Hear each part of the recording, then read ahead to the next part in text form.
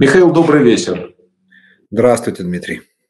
Здравствуйте. Мне очень давно хотелось с вами поговорить. Э, вы очень интересный собеседник. И я, наверное, начну, знаете, с чего? Вот еще совсем чуть-чуть, немножко времени и год войны. Год. Да. Кошмар. Летят они как пули у виска, что называется, да? Скажите, пожалуйста, вот если вернуться назад, в 24 февраля 2022 года, а, как вы думаете, у Путина были варианты не начинать? Конечно, вообще легко. Да? да вы знаете, это был самый безумный вариант. А, я поверил 21-го. Вот я поверил, что он начнет, я сказал об этом вслух 21-го, когда прошло вот это заседание Совета Безопасности, где признали ЛНР, ДНР, где допытывались у несчастного Нарышкина, там, признает ли он ЛНР, ДНР. До этого я вообще не верил совершенно. Я все время думал, что это продолжение игры, вечной игры Путина вот в то, что а, как наезд, откат, вся вот эта его тактика постоянная абсолютно. И я смотрел других каких-то политологов, этих путинологов, которые все, все говорили, он не человек войны. Я во все это верил до 21 числа. А 21 я посмотрел и сказал, другой человек, все, забудьте. Вот все, что мы знаем, все неправда. Это другой человек я впервые увидел настолько больного человека на экране, и я понял, что да, все, завтра. Ну, я был уверен, что 24 утром оказалось, 22 сори, утром оказалось 24-го. Ну, конечно, были варианты. Конечно, он мог всю жизнь так заниматься всеми этими наездами, откатами, жить прекрасно, заработать еще триллион долларов для себя лично и для своих потомков, и править Россией еще как минимум 30 лет. Все у него было в руках. Это фатальная ошибка его, как вы считаете? Э, не, ну, процентов на 90, что она фатальная, но есть, я бы так 10% аккуратно отдал под то, что он все-таки в какой-то момент откатит назад очень сильно, под давлением, естественно, ВСУ, в смысле, когда ВСУ зайдут в Крым и так далее, и так далее, и закупорит вот Россию, превратив ее в такую Северную Корею, по-моему, этот шанс есть.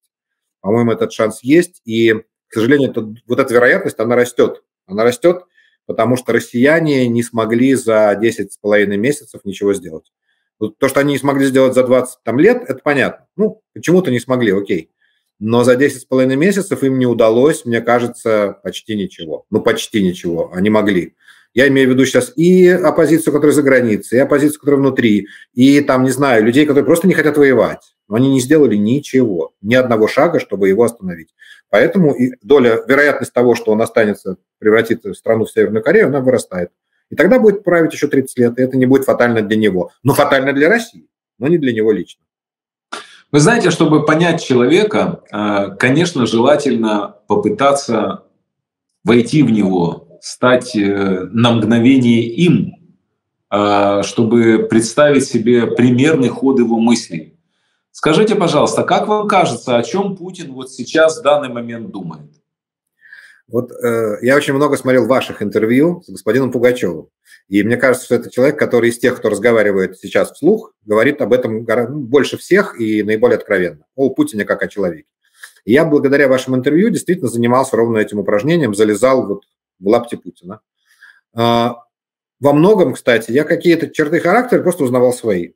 В частности, вот это умение мыслить. Да нет, в каком смысле? В одном вещи умение мыслить сегодняшним днем. Вот абсолютно сегодняшним днем у него такое-то железное, да? И я это очень хорошо понимаю. Я очень хорошо понимаю, что такое не обращать внимания на то, что будет завтра. Вот мы сегодня, это как, вот Путин, он действительно в каком-то смысле велик, ну, пусть он отрицательный персонаж, мы же сейчас не про это говорим, да, но он умеет мыслить сегодняшним днем. Он умеет максимально выжить для себя максимум из того, что есть сегодня, не заботясь ни о вчера, по которому он может врать, ему уже наплевать, что он вчера говорил, это уже не важно. Да, все, все проехали. Что было вчера, уже не важно. Не задумываясь о том, что будет завтра. Это, конечно, в долгую всегда проигрыш, но в короткую много шансов. Поэтому сегодня, конечно же, он почти не думает. Вот человек, который, как говорили, плавает в бассейне по три часа в день, ну, по крайней мере, до войны такое про него рассказывали, это человек, способный не думать. Это очень важное умение, не думать. И воспринимать только, вот как говорил Пугачев, воспринимать только хорошие новости. Окей, это так, это... А что можем хорошего сделать сегодня? Ну, например, мы можем призвать 100 тысяч человек? Можем. Давайте призовем. Мы можем объявить перемирие. Вот он приносит список предложений. Из них там 50 – это больные компромиссы, болезненные, а 50 – что-то безболезненное. Вот безболезненно предложить перемирие на Рождество. Это безболезненно для него. И мало того, имеет какой-то шанс. Как выяснилось, провалившийся полностью. Это не сработало. Но это мы можем попробовать, потому что это безболезненно. Он не принимает болезненных решений, он принимает безболезненные решения. Вот и все, что есть у него в голове. Что я могу сделать сегодня, чтобы ничего не изменилось?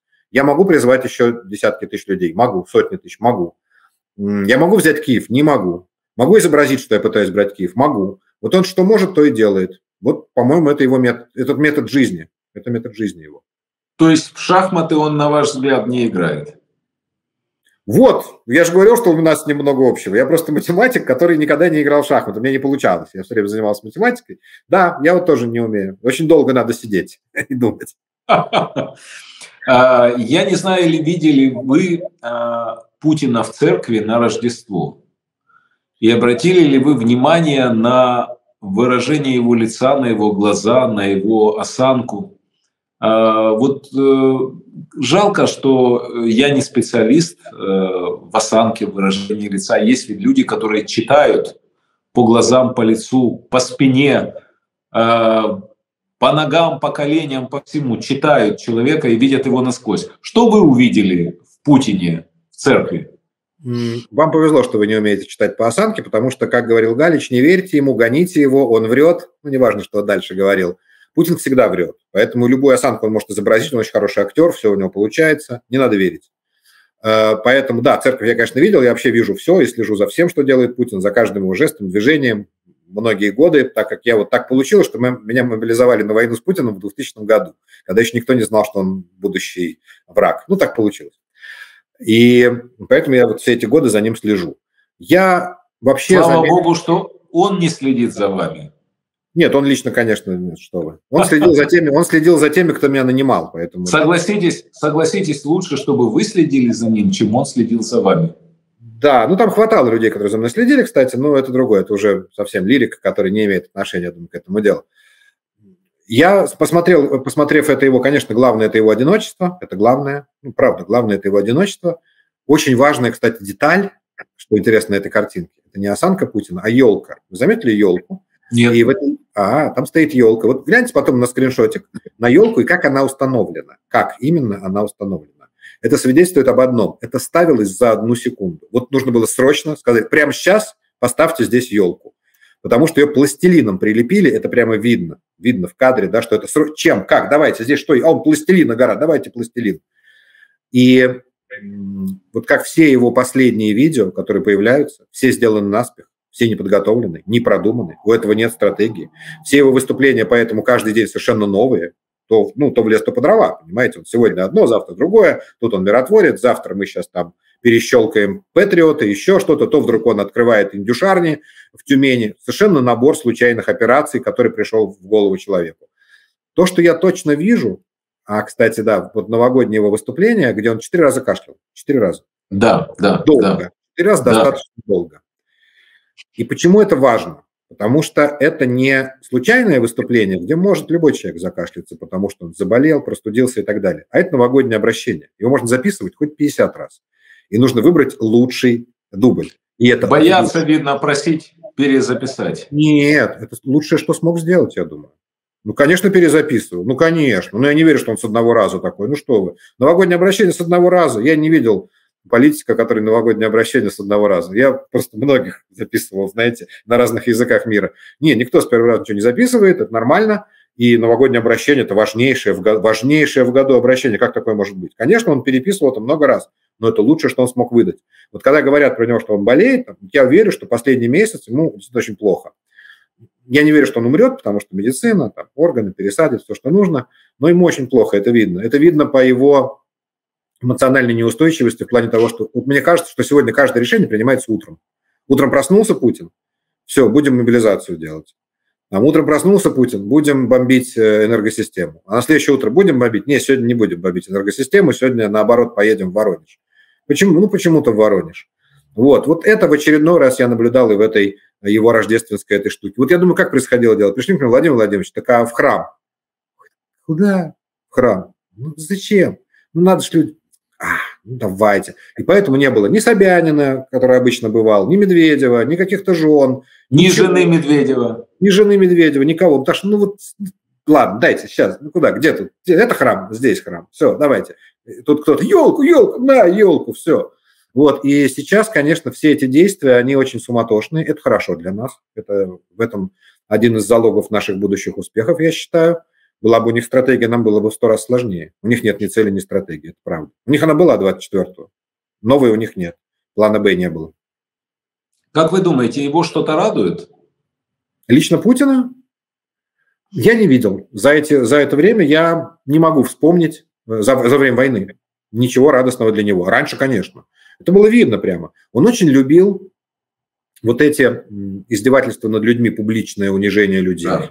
Вспомните, как он унижал Дерипаску, как он унижал там людей вот с этим доктором, который все отрежет.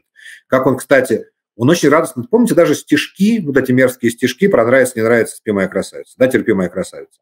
И подобные вещи. Он, вот это он говорил с настоящим удовольствием, с настоящим таким садистическим удовольствием. За время войны я не могу вспомнить ни одной такой фразы. Ни Все. одного стишка. Ни одного стишка. Ну нет, был один, знаете, какой, сейчас скажу, мерзни, мерзни, волчий хвост. Ну, пожалуй, вот единственное, ну тоже вот уже без энтузиазма. У него не было, не хватало ему. Э, он, когда не смог захватить Киев, конечно, он все понял. Ну, я уверен, что он все понял. Это же было, перелом был 29 марта-2 апреля.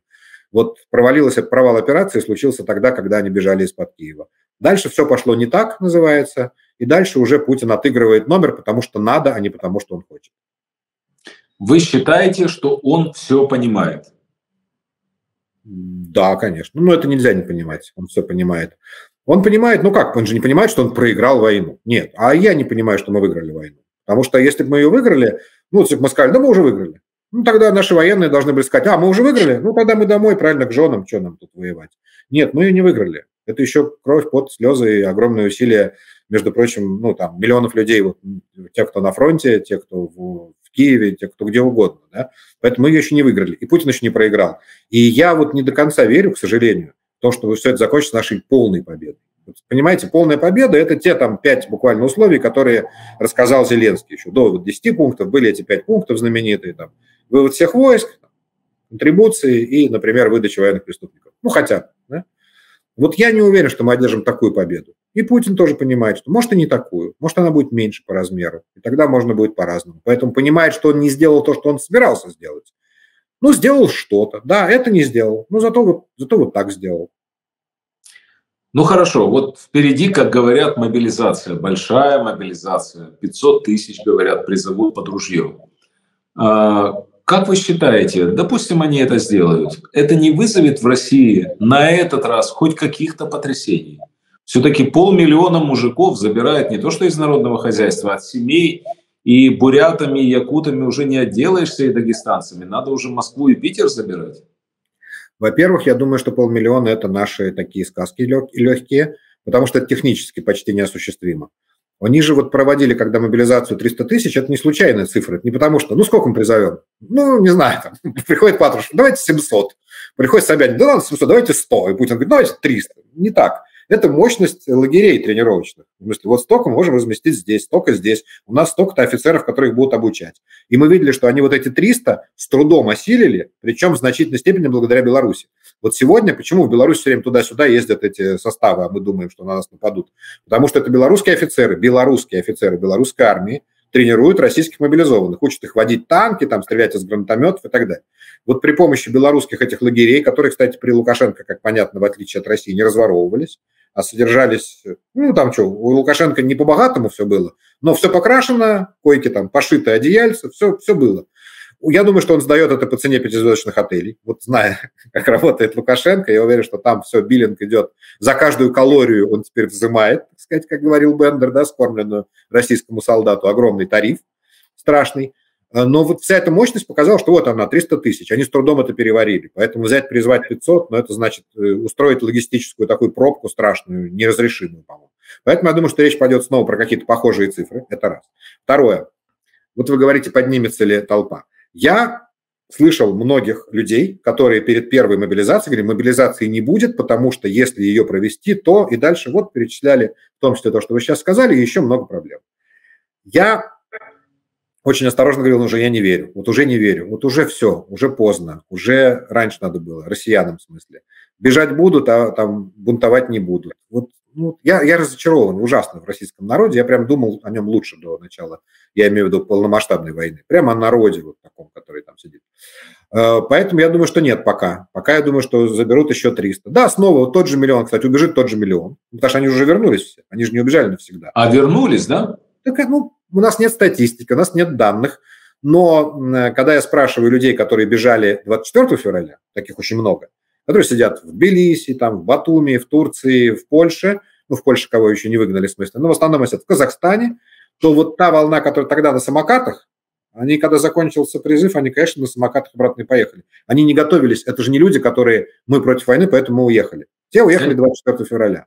Это люди скрыты от мобилизации. Ну, я уверен, что 80% точно вернулось. У них не было запаса денег жить. Как? Там сейчас не берут, можем жить. Они побегут обратно. Ну, это будет тот же миллион. А новых там 300 тысяч, ну, я думаю, наберут споко- пока спокойно. То есть вопрос, сколько раз таких итераций можно допустить, они не бесконечны, терпение не бесконечное. Я помню вот э, в своем детстве совсем, конечно, гробы из Афганистана, вот когда э, мне впервые сказали, что есть война в Афганистане. Ну, я учился там в школе в каком-то там классе, Папа слушал «Голос Америки», мы вместе слушаем «Война в Афганистане». Я говорю, папа, а что это? Папа мне все это рассказывает, он антисоветчик, естественно. Но все это ну, он рассказал, я никому в школе не стал рассказывать, потому что я так, ну, может, неправда, мало ли «Голос Америки». вот. А потом привезли первые гробы, вот прямо к нам в квартал привезли. Я их сам даже гробы не видел, но вот это говорили все. Вот эта вся улица только разговаривала об этом. Потому что вот реально, вот два человека из моей школы, где я учился, выпускники, в смысле, и вот там так какая-то линейка была даже, ну, нас туда не звали детей, там какие-то учителя. Вот это был первый сигнал. Вот это то, что сейчас происходит по России. То, что сейчас вот привезли то ли в Саратов, то ли в Самару из Макеевки, вот это важно, что их так много из одного и того же места. Но когда, когда в каждом регионе такое будет, вот тогда начнется, я думаю. Ну, вот сколько это итераций? Две-три еще, я думаю. Вы же родились в Ленинграде. Да. Сколько вы там жили? 22 года за вычетом двух лет в армии. И потом где жили? Потом в Израиле, вот, 12 лет. Ну, я еще из Советского Союза да, туда отправился. Вот э, э, Питер, он же особый город. Я служил под Питером в Луге, под Лугой. Да. А, и э, несколько раз тогда вот э, после армии, помню, приезжал в Питер. И до армии был в Питере, да, папа меня повез, мы жили в гостинице Прибалтийской, ее только построили то ли финны, то ли шведы. Так красиво все было вообще, как с другой жизни. А, город же уникальный в плане того, что он весь на крови, на смертях. А, сначала Петр I строил на крови, потом блокада 900 тысяч или миллион да, погибших. А, и вот эти нервные люди, я запомнил очень хорошо, коммуналки питерские, погода мрачная это. Скажите, пожалуйста, вот вы поймали тогда народ, который вас окружал в Питере? Вы разбираетесь в нем? И глобальный вопрос, что произошло с русским народом, что он утратил э, в массе своей человеческие черты? Э, тогда, конечно, понимал, потому что вот то, что про Петра Первого я не понимал, ну, потому что это было очень давно. А блокада для меня была не чем-то чужим, а прям моим, потому что вот бабушка, которая меня растила, она пережила блокаду всю. Дедушка мой пережил блокаду всю. Они мне все это там рассказывали постоянно. Все было частью вот моей детской культуры. Прямо вот съешь, потому что мы вот клейстер ели и так далее, и много что. Просто ну, все родственники, все, все было очень близко, прямо все близко. И там мои дяди и тети похороненные все на Пискаревском кладбище. Много, много всего. Поэтому, конечно, я всех этих людей понимал. Мы были немного сумасшедшими все в Питере. Э, да, вот прям у меня было ощущение, что мы отличались от других людей из других городов тем, что у нас немножко с головой не в порядке. Я не знаю. Да. Вода другая, поэтому все поэты там много, да, поэтов, рок-музыкантов. Э, поэтому, кстати, диссиденты, ну, там такое диссидентское движение такое ленинградское. И вообще ленинградцы были в восстании. Ну, все время же боялись восстания в Ленинграде, да. И я жил прям в обстановке этой диссидентской, буквально там, в политехе в Ленинградской мы учились. У меня было ощущение, что мы все диссиденты, а вот там есть другая страна, а мы все диссиденты. Эм, поэтому, да, мне казалось, что я что-то понимаю. Но потом я пошел в армию, в стройбат. Там О, я увидел... Я вас поздравляю. Да-да-да, я увидел советских людей. Вот я понял, что я, я, оказывается, нет, это то не настоящее, вот настоящее. У меня был интернационал, прям интернационал. Я с тех пор изучил все народности, национальности Советского Союза, от литовцев до рутульцев. Э, мне пришлось самому поступить в литовцы, потому что вот тут я перехожу к русскому народу, так сказать. Тут, конечно, не дай бог, это будет так воспринято как национализм, но это такой полушутку, да, но все-таки.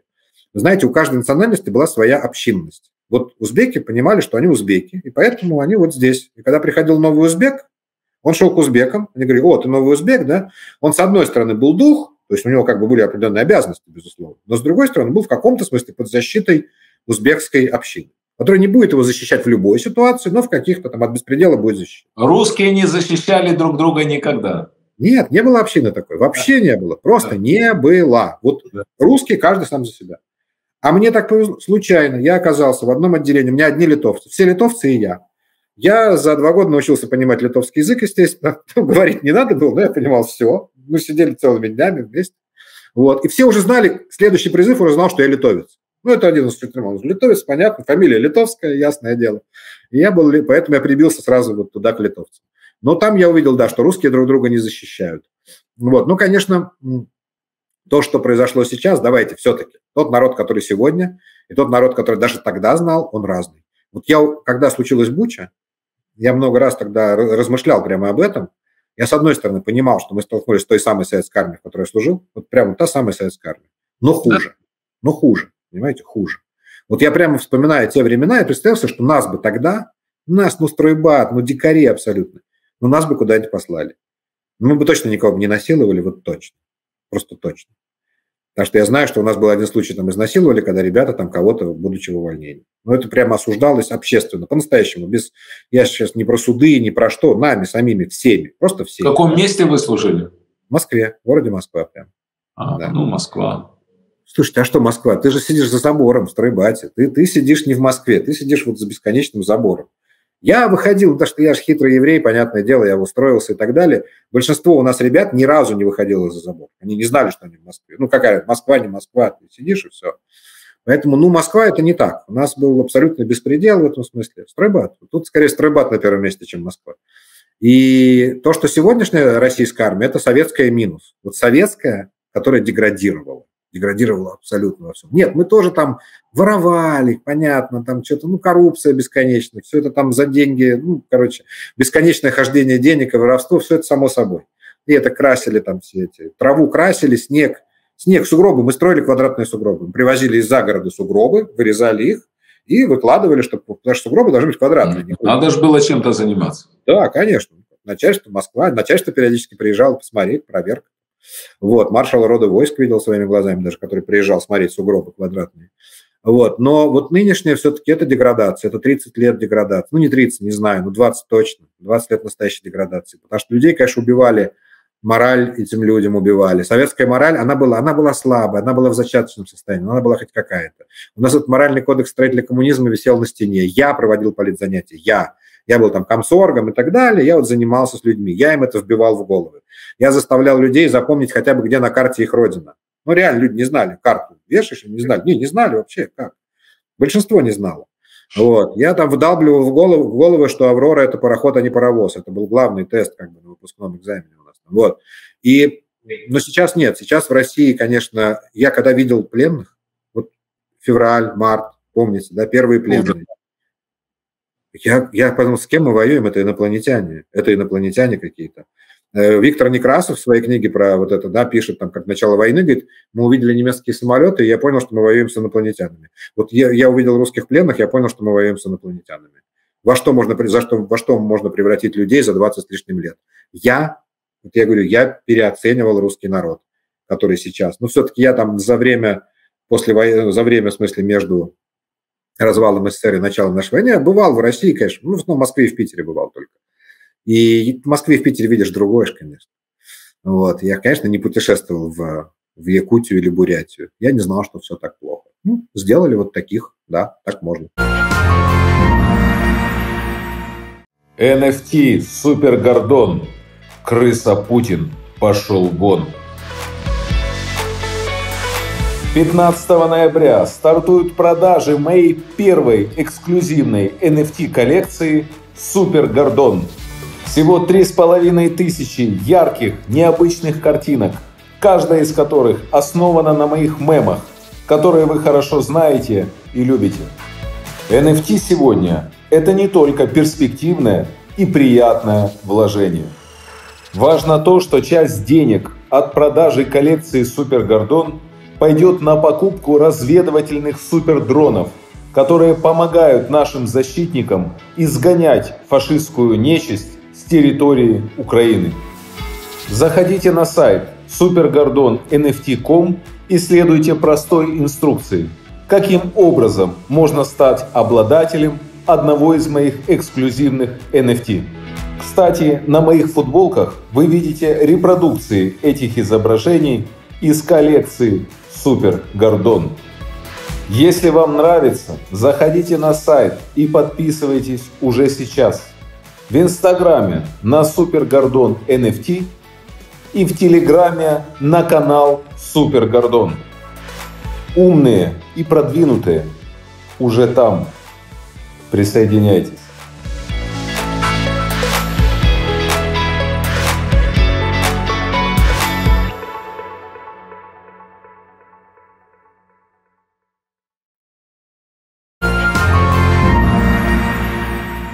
Вы вспомнили о Викторе Некрасове. Вот сейчас выйду пройтись пешком. 500 метров пройду до дома Виктора Некрасова. Да, да, конечно. Да слушайте, да все он, здесь. Откуда он уехал во Францию? Да, да я вот здесь, когда ходишь вообще, что по Киеву, что по Одессе, это же прямо в этом смысле история, история литературы, на мой взгляд. Да. Э, вернемся к нашим баранам. Да. В прямом смысле слова.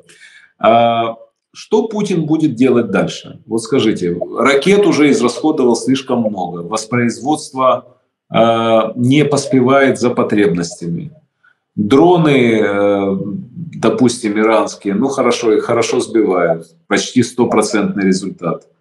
Э, ядерное оружие использовать не может, бактериологическое тоже вряд ли но мобилизация и мобилизация. Что он будет в глобальном плане делать дальше, учитывая тот класс оружия, которое Запад уже дает? У меня страшный ответ, он не будет делать ничего. Вот мы нового за эту войну не увидим. Это будет э, как, что было, то и будет. Он будет уговаривать Лукашенко и не уговорит. Вот он 10 месяцев будет его уговаривать и не уговорит он будет периодически вот стрелять теми оставшимися ракетами, потому что они там производят, по-моему, 30 ракет в месяц, что-то в таком духе. Там. Ну, вот, понимаете, насчет воспроизводства там даже говорить не о чем. Там буквально это все какие-то штучные, да, товар. Иран много поставить не может. Иран очень примитивная достаточно страна. Я был в Минске на выставке Экспо иранской. И именно вот передовых достижений иранского народного хозяйства. Но это ковры, Рахат Лукум и автомобили «Москвич», понимали? Ну вот реально, это передовые достижения. Все-таки Иран, он был развитой страной до исламской революции, а потом вот эти 40 лет санкций сделали свое дело, и то, что они производят, вы же видели, даже американские там запчасти внутри этих, э, внутри этих э, самых да. дронов, и сейчас это все ограничат, понятно, но сколько они там еще сделают этих дронов, это все как раз вот, неважно. Э, он будет затыкать дыры людьми, у него есть куча там какой-то старой техники примитивной. Он будет делать так, чтобы мы увязли, что он, собственно, и делает. Но это все, что он может. Он будет делать вот это. Я не верю в какие-то глобальные атаки. Помните, как мы ждали э, глобального наступления на Донбассе? Вот весь апрель мы сидели и ждали. Да? Каждый, все, завтра точно начнется. А как весь март мы ждали э, окружения и прорыва на Киев. Помните, каждый день мне звонили со всего мира. Я вот сидел в Киеве все это время, а мне каждый день звонили мои друзья. Вы были в Киеве, да? Да, да, да, конечно. Я решил, что раз Путин на меня напал, я не могу. Нет. Ну, наконец-то, я с ним воевал 22 года, он пришел сам. Как я его брошу одного? Надо уже встречать лицом к лицу. И вот э, каждый день мне звонили люди со всего мира. Ты, ты знаешь, мне сказали точно, сегодня будет прорыв в Киев.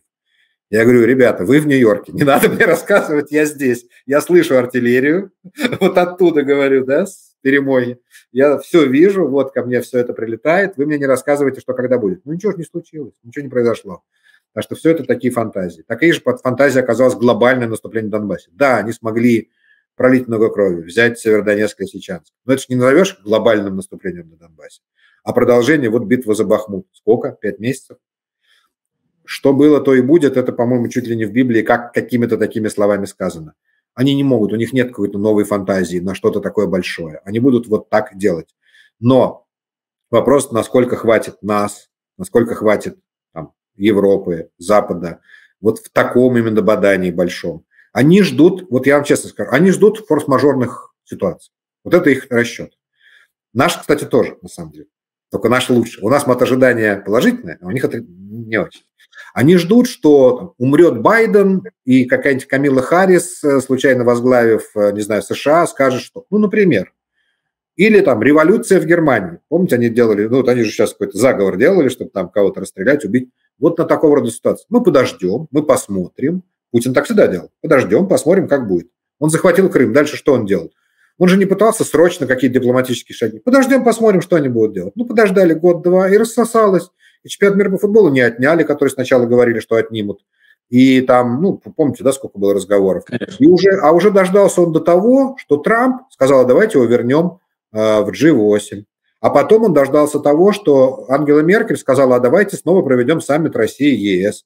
К счастью для нас, это отказались делать голландцы, как вы помните. Голландия сказала, а мы не будем на таком саммите, потому что самолет и так далее. Но это уже висело на волоске, то есть еще бы, может, и дождался бы. Но теперь, конечно, ему будет сложнее ждать. Мы тоже ждем, мы тоже ждем форс-мажора, потому что мы ждем э, этого черного лебедя, так называемого, но у нас есть основания его ждать. В системе, которая находится под таким давлением, как Россия сегодня, обязательно прилетит черный лебедь. Нам нужно просто вот очень продолжать все это давление, которое очень тяжело нам всем дается, особенно людям на фронте, естественно, и уже только в последнюю, ну, а, а людям в оккупации, а людям в прифронтовых городах.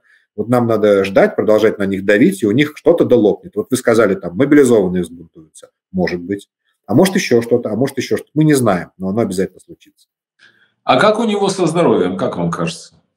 Я, естественно, конечно же, понятия не имею, но я, но опять-таки, только наблюдаю его.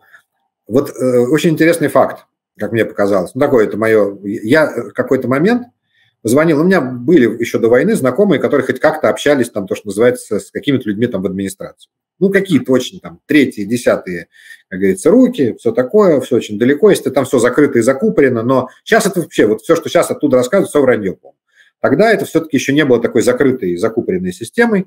Какие-то люди что-то рассказывают по мелочи. Было кому позвонить и хоть что-то спросить. И я, увидев 21 числа, э, февраля, вот это заседание Совета Безопасности, увидел там другого Путина, не того, которого я знал раньше. Ну, я же знал, как он выглядит, как его снимают, Понятно, что у них был брендбук, как снимать Путина. Ну, вы знаете, да, что вот Конечно. нельзя сзади с такого ракурса, только это отсюда, только это, рост показать, это так, это сяк. Если вы внимательно посмотрите кадры 21 февраля, это был другой человек, другой Путин, 21 февраля. Это было лицо в красных прожилках. Это были трясущиеся руки физически. Прям было видно, что у него трясется рука. Красные прожилки. Ни разу до этого не показывали красные прожилки. И много еще чего там по мелочи. Прям вот мелкие-мелкие черты в лице. Я стал звонить людям, говорю, что случилось с Путиным? Он что, умирает, что случилось? Мне раскрыли правду. Так как Путин сидел все это время в э, самоизоляции из-за ковида, и на тот момент тоже, к нему допускали только людей, которые проходят определенный протокол, а постоянная обслуга, она сидела с ним полтора года. Понимаете, постоянная вот эта обслуга, которая там повара какие-то и так далее, и так далее, они прям там в бункере и сидели тоже в самоизоляции, то есть их вообще, там, кстати, многие люди развелись из-за этого с женами, потому что ну, полтора года э, фактически... Ну, хоть денег заработали. Да-да-да, ну, полярники, все такое. Так вот мне сказали, сказали, слушай, раньше его снимал э, Первый канал, и всякие такие люди специально обученные, профессионалы большие. А это оперативная съемка ФСБ. Все, что сейчас тебе показывают, это оперативная съемка ФСБ. Почему? Потому что он только других не пускают туда. Все, что нам показывают, это оперативная съемка ФСБ. А оперативная съемка ФСБ, их как учат снимать? максимально достоверно. Поэтому они показывают, как есть. И сейчас, если вы посмотрите за время этой войны, много раз видно, что это оперативная съемка ФСБ, потому что максимально достоверно снято. Но вы помните, когда, не знаю, видели ли вы эти кадры, ну, наверняка вы тоже, наверное, все смотрите, когда он спускал на воду корабль, какой-то там ледокол. Он в этом кабинете странном, где ему прикатывают на колесах экран, и он встает, вид сзади, как он встает на гимн в помятых штанах. Ну, это оперативная съемка ФСБ.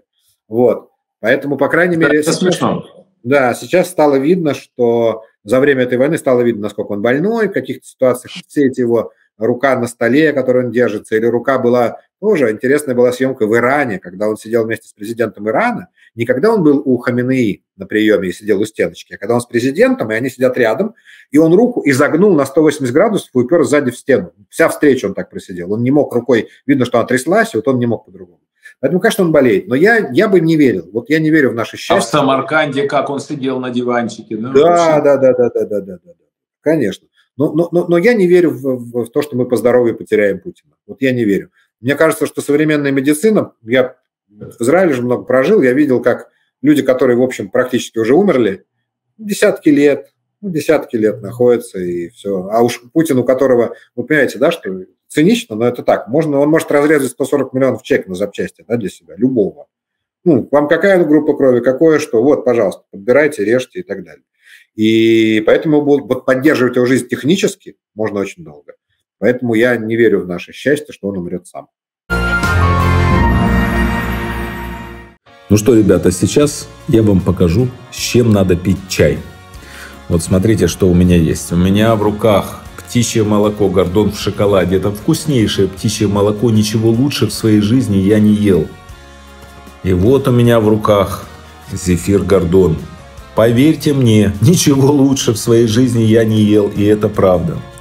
Вот посмотрите, они у меня на тарелочке. Вот они, птичье молоко и зефир.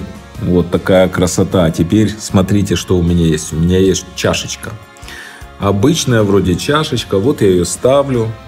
Беру чайничек и наливаю в чашечку. А теперь будем смотреть, что будет происходить с этой чашечкой. Я наливаю кипяток. Наливаю, наливаю, наливаю. Смотрите, что же с ней будет происходить. Ой-ой-ой, что с ней уже происходит, посмотрите. Вот она, чашечка. Кто-то там проявляется. Мне кажется, это я. Отлично, уже проявился. И теперь смотрите. Вот конфеточки. Ну. Не, ну это бомба. И вот зефирчик. М-м. Это две бомбы. На здоровье, ребята.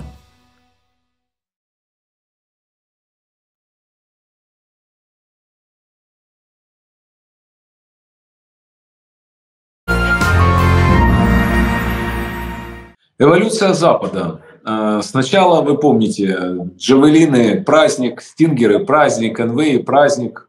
Сейчас э, оружие серьезное уже пошло, и Украина всерьез говорит, дайте нам F-16, дайте нам атакамсы. Как вы считаете, все дадут? Все дадут, конечно. Если мы доведем до этой стадии вообще войну, э, я...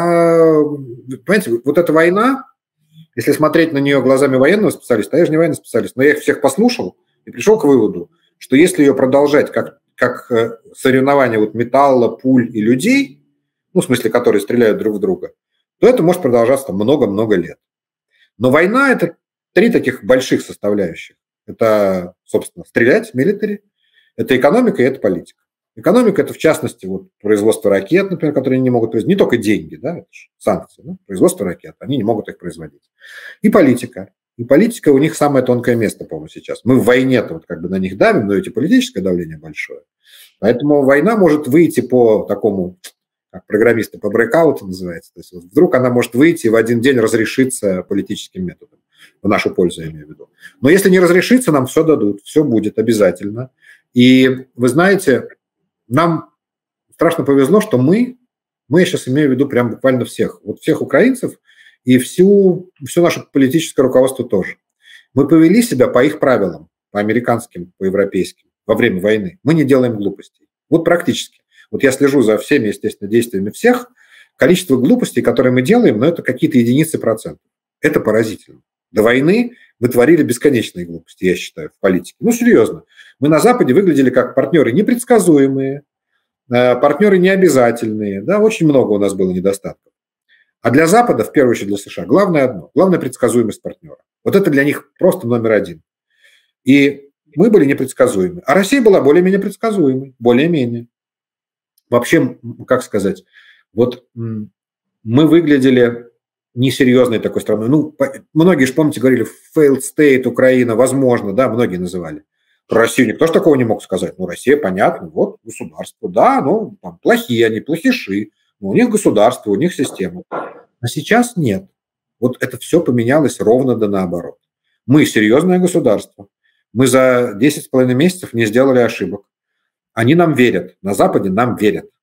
Мы, э, мало того, мы еще и взяли на себя, но это тут, конечно, тут уже э, это наше политическое руководство молодцы, что они берут на себя очень часто инициативу такую неожиданную, резкую. Вот если вспомнить там отказ Штейнмайеру в приезде, ну, это резкость.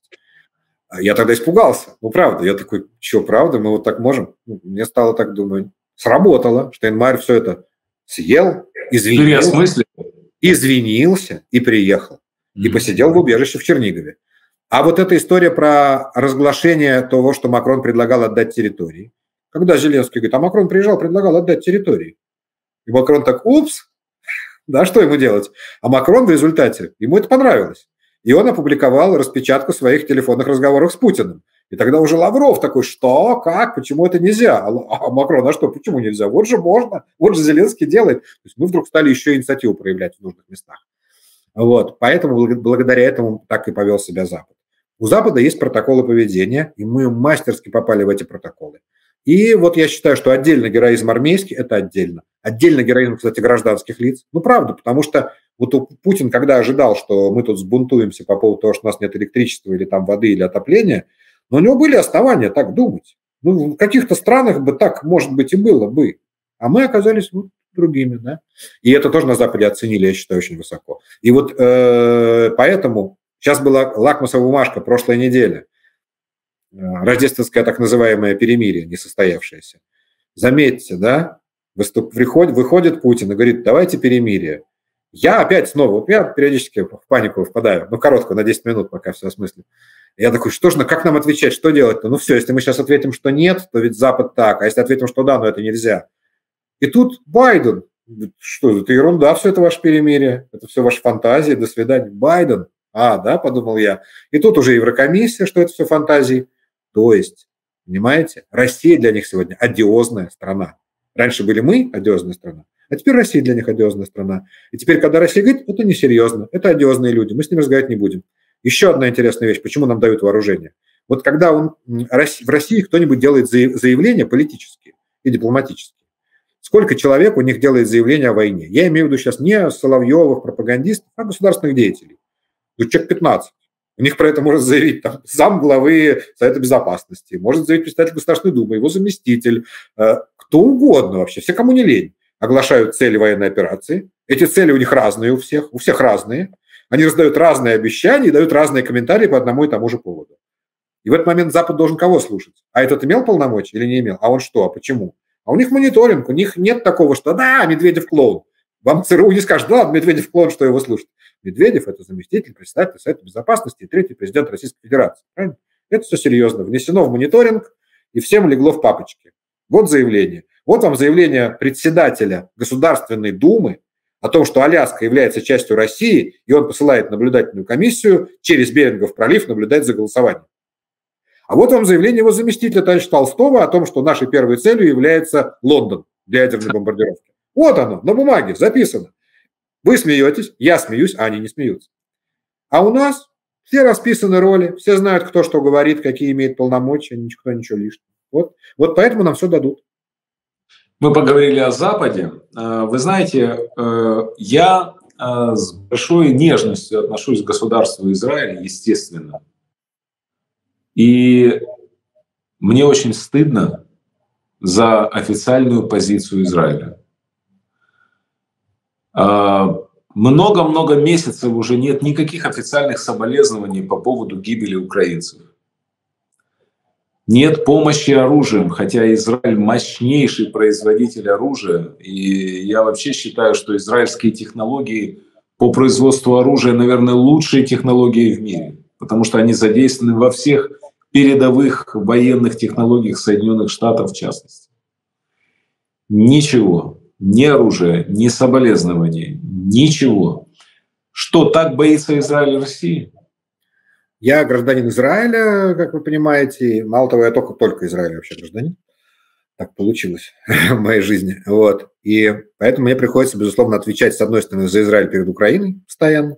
С другой стороны, я еще регулярно выступаю на израильском телевидении, там мне приходится тоже за много за что нести ответ. Иногда наезжать, в том числе, естественно, на Израиль. Поэтому... Я, я уж, простите, не говорю, а, что президент Украины Зеленский еврей, и Израилю, казалось бы, карты в руки, помогите.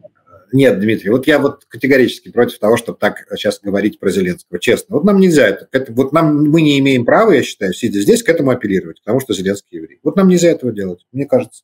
Мы потом, после войны, можем вместе спеть с ним Хава Нагилу на День Победы, но говорить, вот он же у нас еврей, поэтому дайте нам оружие. Некорректно, мне кажется, некорректно все-таки. Он, он украинец. Вот все, мы сейчас я просто украинцы. так хочу, чтобы Израиль нам помогал. Я знаю, что я уже я знаю, я тоже хочу. Но вот это очень опасная такая, опасные рельсы. Мы с вами все сейчас украинцы. Вы, я, Зеленский. Мы все вот три украинца, да? и еще, и еще 45 миллионов. Вот. Мы все украинцы абсолютно. Я всю войну говорю, я украинец, вообще перестаньте, отстаньте все. Какая разница, что я гражданин Израиля. Но теперь вот про Израиль. И плохое, и хорошее скажу. Скажу сначала, начну с самого таких двух плохих вещей.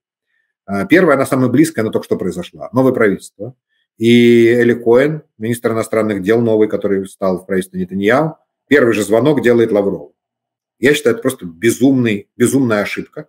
И это уже даже вред не только для Украины, это вред уже для Израиля. Впервые вот это прям этим действием нанесен огромный вред самому Израилю потому что Лавров – это изгой, Россия – страна-изгой. Об этом сказали вслух такие люди, как Олаф Шольц, например, да, для которого, ну, если уж Шольц говорит, Россия – страна-изгой, если премьер-министр Великобритании говорит «страна-изгой», то как вы можете звонить Лаврову? Если Лаврову вон отдельный туалет сделали на Бали, чтобы с ним рядом не сидеть, а вы ему звоните.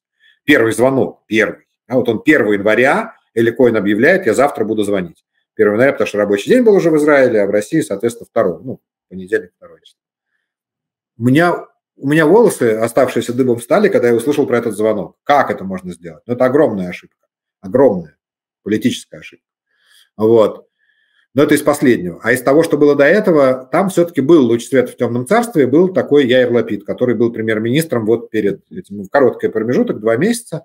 Это человек единственный, который полностью осуждал Россию, слух, многократно, который осуждал преступления в Буче, называл словом геноцид, называл словом геноцид многое. Он был в момент начала войны он был министром иностранных дел Израиля, а потом два месяца он был премьером. Вот это единственный человек, который действительно все это делал. Ну, как единственный из самых поставленных из первых лиц, естественно. Там дальше было еще много разных министров. Был министр, который вообще говорил, дайте, а давайте дадим оружие. Но вот Яир Лапид, безусловно, такой. А некоторые повели себя, да. Ну, был там Либерман, министр, э, господи, что он был, финансов, который вообще... Это посмотрев... друг русских. Да. да, так он, посмотрев на фотографии из Бучи, сказал, я, говорит, так и не понял, кто там кого убил, то ли русские украинцы, то ли украинцы русские. Понимаете, это говорит министр финансов. Позор какой. Позор да, да, это ужасная, ужасная история совершенно. Вот. И был Беннет, который проявил себя ни туда, ни сюда, как говорится. Тот же Нетаньяху, который сейчас пришел к власти, он на прошлых выборах, не на этих, которые вот сейчас были, не во время войны, на прошлых, его основным слоганом было следующее. Ну, главный его билборд, плакат висел «Он с Путиным», держатся за руки. И слоган Нетаньягу «Высшая лига». Понимаете? То есть как бы, что вот, смотрите, с самим Путиным дружу. И это выборы там 20-го, по-моему, года. Вот. Но поэтому я немного жду тоже помощи военной от Израиля сейчас. Но, но, но Нетаньягу не русский шпион. В смысле, это не Либерман, не... Извините, извините, Михаил. Э, в Израиле, насколько я понимаю, не отменили вещание российских каналов, правильно? Нет, не отменили вообще. Да вообще, вообще никаких, кошмар. Вообще никаких санкций.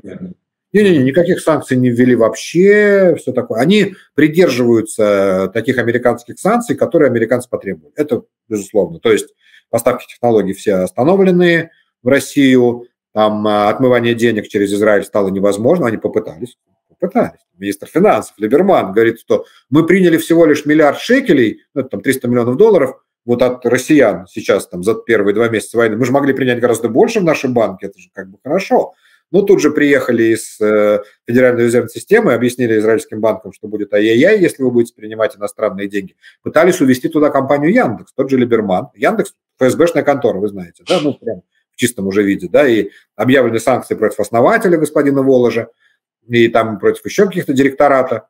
И Либерман написал письмо в правительство, что прошу принять полностью компанию Яндекс, вот всю, всем выдать виды на жительство, всю сюда. Же хорошая, замечательная компания из ФСБ.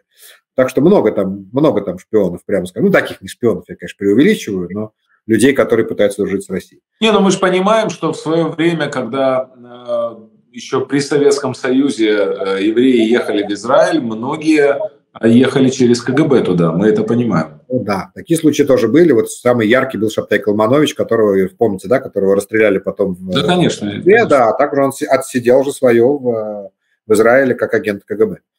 Вот. Взять ну, того же, извините, Яшу Кедми, это же вообще Мерзавец, мерзопакостный. Он, он отдельно мерзавец. Я не уверен, что он шпион, но, но, ну, в смысле, что он именно вот приехал в таком виде. Ну, то, что мерзавец, мерзопакостный. Я в начале войны, кстати, организовал, да, акцию по поводу, ну, хотя бы мы собирали подписи израильтян, чтобы убрать его из израильских эфиров, потому что он то в России выступал, тут же в Израиль приезжал, и там тоже в эфире.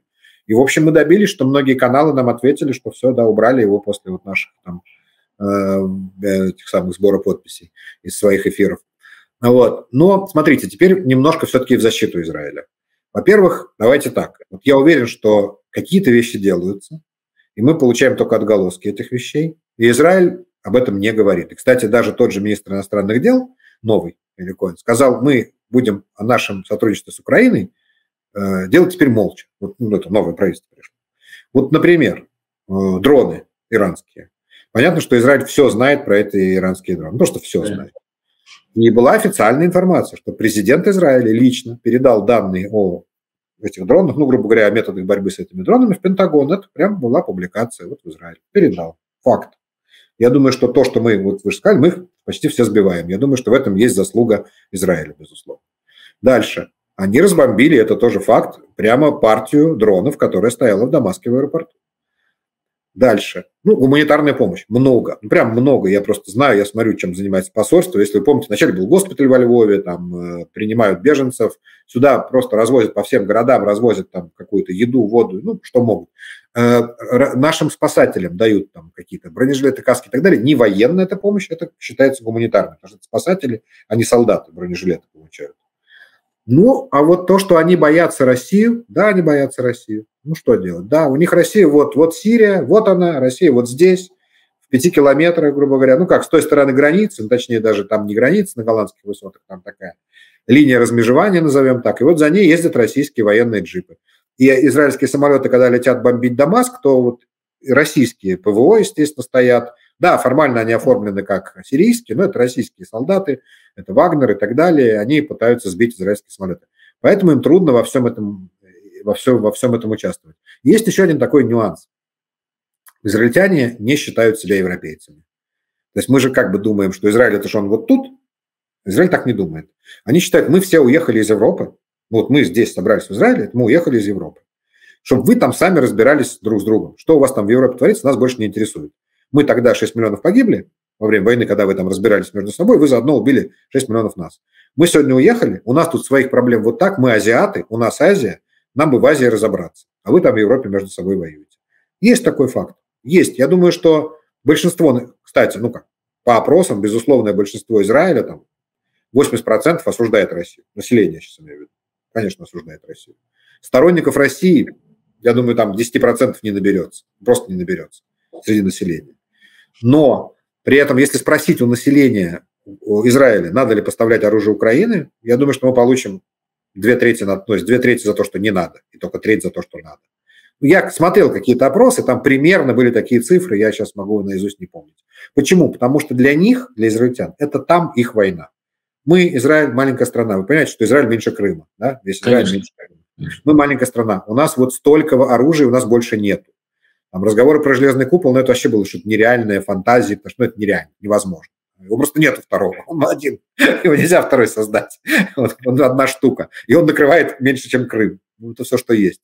И стоит там 10 миллиардов долларов. То есть смешно все это. Вот, то есть Израиль не то чтобы сильно мог помочь. Я не знаю, например, что мы узнаем после войны когда-нибудь. Вот когда-нибудь, когда мы с вами через 10 лет поговорим, возможно, мы узнаем, Америка, американское оружие, которое нам передается, там было разрешение израильтян на передачу технологий? Да. Нет. Мы сегодня это не знаем. Мы узнаем. Было, я было. вот я думаю, что было, да. Ну, что-то мы знаем, что-то не знаем, где, как. Поэтому, к сожалению, это просто страна... Нам кажется, вот мы же почему так думаем про Израиль, что он такой близкий нам? Потому что тут же евреи все, и там евреи. Нет, там израильтяне. Другие люди. Просто они другие. Они же по-русски не говорят в основном. И у них другой мир свой азиатский. И у них Йемен это понятное что-то. Вот понятно, что это Йемен, это вот Эфиопия. Это понятно и важно. Вот они отличат Эфиопию от Эритреи. Вот у них во время войны Эфиопии с Тиграем были свои симпатии и антипатии. А у нас же не было, мы же не знаем, где это. Я вам задам напоследок главный, наверное, на сегодня вопрос. Когда закончится война, по-вашему? По-моему, в этом году. По-моему, в этом году. Вам не кажется, что это на годы еще, нет? Нет. Вы знаете, я у меня есть чем гордиться. Я очень плохой прогнозист, сразу скажу. Извините, Дмитрий, я правда плохой прогнозист. Я, знаете, чем отличается политолог от политтехнолога? Я каждый раз приходится объяснять. У меня вот приходит ко мне один мой друг на бирже играет. И играет он, используя в том числе политические знания. Говорит, слушай, а вот мне нужно расскажи мне там про Иорданию, вот такие-то вопросы и так далее. Вот как ты считаешь, какая вероятность, что король Иордании так-то и так-то? Я говорю, нет. А какая вероятность, говорит, что убьют короля Иордании из-за таких там событий? Ну, это было несколько лет назад, там были определенные возмущения. Я говорю, ты неправильно, не, не по адресу. Это, говорю, к политологам, вот они знают вероятность. Политтехнолог не так. Ты ко мне должен прийти и сказать, слушай, Миш, мне нужно, чтобы вот курс шекеля к иорданскому динару поменялся. Что сделать? Я говорю, убейте короля Иордании, он поменяется. Я, я решение, мы предлагаем решение, а не прогнозы делают политтехнологи. Вот. И в данной ситуации я в мае этого года, ну, прошлого года, то есть в мае, берут у меня интервью. И там во время восьмой раз меня спросили, когда закончится восьмой раз. А война шла два месяца всего лишь, ну, начало мая. И когда восьмой раз спросили, я не выдержал, говорю, вы знаете, еще 9 месяцев осталось. Вот я так почувствовал, что 9 месяцев осталось. Море возмущения. Просто вот все комментаторы, все это возмущение. Как? Что, что вы говорите? Что нам еще 9 месяцев? Это невозможно. Как это может быть? Вот когда мы воевали 2 месяца, тогда 9 месяцев казалось чем-то, ну как это может быть еще 9? Все же говорили через 2 недели, через месяц, через 2. Я говорю, нет, ну, ребят, то, что 9 месяцев, это вот точно, это я вам обещаю. И когда вы возмущаетесь, говорю, давайте так, вот я понимаю те, кто на фронте. Ну, нас на фронте мало кто смотрит. Ну, давайте, вы сидите сейчас, вот вы меня смотрите, вы, скорее всего, в Киеве или вы во Львове. Ну, раз, да? И говорю, вот нам с вами дан шанс, шанс победить мировое зло. И вы жалеете на это потратить 9 месяцев вашей жизни. Что вы будете потом делать? Потом вы будете ипотеку платить, ну и так далее, правильно? А сейчас вы мировое зло побеждаете. И вот на это нужно 9 месяцев. Ну да. И я сейчас вспоминал этот свой прогноз, и мне моя зрительница одна пишет, да, я помню, как я возмущалась и злилась на вас за это. А сегодня из этих 9 месяцев 8 прошли. И, и вы сейчас уже говорите, ну это же на годы, да, и уже нормально это звучит. Поэтому сейчас я наоборот оптимист. Я считаю, что все-таки остались месяцы, считанные месяцы, считанные месяцы. Потому что я не вижу политического запаса у россиян. Вот я вижу у них там экономически они наплевать, они будут меньше кушать, и все нормально. Э, на войну они отправят еще там сотни тысяч, и миллионы отправят, тоже нет проблем. Но мне кажется, что... Нет, понятно, что это будет заслуга ВСУ в любом случае, и то, что мы вот одержим какую-то очередную победу, и это надломит. Вот что-то должно надломить. Вот там сегодня уже реально это верблюд, которому не хватает соломинки. Я имею в виду сейчас Российскую Федерацию. Это очень слабая штука. У них нет государства. Вот мы посмотрите внимательно, у них нет сегодня государства. Оно у них было какое-никакое. Сейчас его нет. Это набор случайных людей. Вот я, например, вам могу сказать, Путин до войны контролировал Россию процентов на 80, а сегодня на 20. Вот сегодня он приказы может отдавать только те, которые он очень уверен, что они, наверное, будут выполнены. А большинство приказов он отдать не может. Он почему так долго тянул с этой мобилизацией? Он был не уверен, что получится, что послушают, что вообще ему дадут в телевизор выступить с этим. А вдруг бы не дали? Вот записали бы и не показали. И что бы он делал тогда?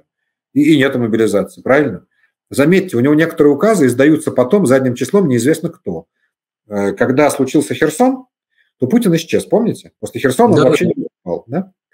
Не выступал долго. А потом начались какие-то очень робкие, странные выступления Путина. И я понял, первое выступление Путина после Херсона, знаете, чему было посвящено? Это неделя после Херсона. Тому, что он присваивает Мелитополю и Мариуполю звание городов воинской славы за их противодействие немецким фашистам. Я это послушал. И говорю, стоп, это сейчас самое важное. То есть ничего страшнее нет. Слушаю, сижу.